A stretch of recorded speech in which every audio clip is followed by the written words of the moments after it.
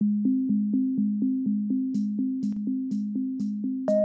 nombre es Lucas Nogués, soy deportista de la rama natación, de la disciplina natación. Hace 20 años que vivo en Río Negro, soy de Capital Federal, nacido en Capital Federal. Y me siento, me siento rionegrino por esas, por esas ganas de hacer que tienen todos los rionegrinos. Que se venga a disfrutar de nuestro, de nuestro turismo, que se venga a disfrutar de un buen cordero, que se venga a disfrutar de nuestras manzanas, de nuestra gente. Nuestra provincia es una provincia que tiene gente muy cálida, muy buena, muy trabajadora y creo que estaría muy bueno hacer una gran fiesta que conmemore eh, nuestro día.